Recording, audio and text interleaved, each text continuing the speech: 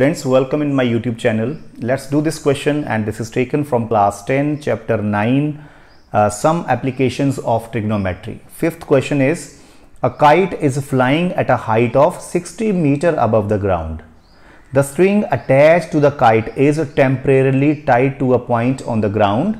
The inclination of the string with the ground is 60 degree. Find the length of the string assuming that there is no slack in the string so let's first of all understand what is given in the statement. A kite is flying at a height of 60, uh, 60 meter, right? And uh, the string is making an angle of 60 degree with the ground. It is given and uh, we are to find out the length of the string assuming that there is no slack. Slack means there is no looseness in the string. String is very straight. So we are to find out the length of the string. So let's draw the figure first of all. So suppose this kite is at a height of 60 degrees. So suppose this is the kite k is kite right? And this is point on the ground right? So this height kl is here 60 meter given right? Now this is suppose uh, this string is tied on the ground here. Uh, suppose uh, this string is tied here on the ground at point p right?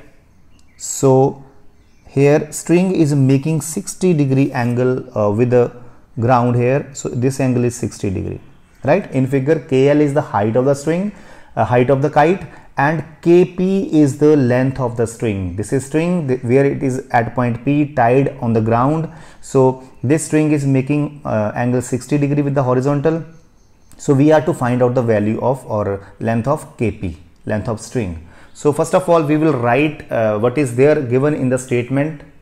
So it's written let KL is equal to 60 meter height of kite, KP is a string, angle P is 60 degree and in right angle triangle KLP uh, we are to find out KP. So we'll write KP in the numerator over what is given that will write in the denominator that is KL is given is equal to see uh, which t ratio will be there? Kp is hypotenuse here right? And kl is here perpendicular. So it becomes h over p. So we know p over h is sine theta. So h over p will be cosecant of the angle 60 degree. So here cosecant will come. Cosecant 60 degree will come. So fill the values. Kp we have to find out. This is length of string.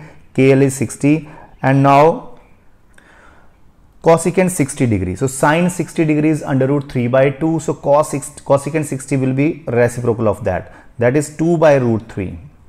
So from here you can cross multiply 60 will go in the numerator here and multiplied. So kp is equal to 60 to the 120 over sorry it is root 3 not root 2. Uh, cosecant 60 is 2 by root 3. So over root 3 so now we'll rationalize this denominator. So we'll multiply up and down by root 3. So it becomes Kp is equal to 120 root 3 over root 3 into root 3 is 3. So this 3 can be cancelled with this 3 ones are 3 40s are. So you can say that 40 root 3 meter is the length of the string. So you can write the last line. So the length of the string is 40 root 3 meter.